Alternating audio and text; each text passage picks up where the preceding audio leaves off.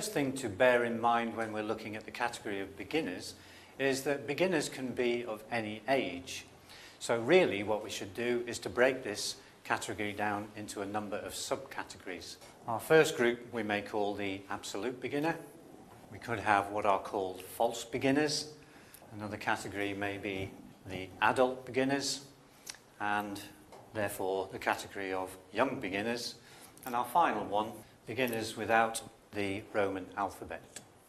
So just to quickly run over what these different types of beginners are, the absolute beginner, as the name implies, are those people with no language knowledge in that particular language. So they've never been taught it and they've probably had no exposure to it either. This is different to the false beginner. The false beginner is at the beginner level, but they've had some exposure to the language.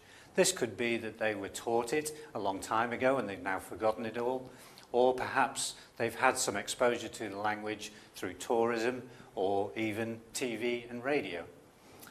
The adult and young beginners, obviously those categories are fairly self-explanatory. The only difference comes between where we recognise the young beginner to finish and the adult beginner to start. Typically we're looking at an age somewhere between 16 and 18 for the separation of those categories. The final one's the beginners without Roman alphabet. Obviously, the types of lessons that we're going to be doing at the start of that course is going to have to include very simple structures, such as the actual alphabet itself.